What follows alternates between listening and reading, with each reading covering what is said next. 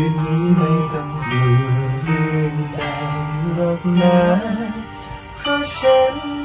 ยังคงอยู่ใกล้ชิดเธอ คืนนี้ดาวลา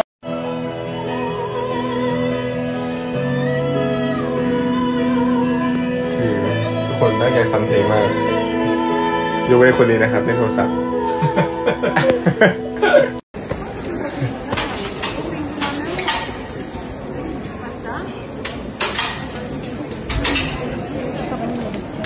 güey.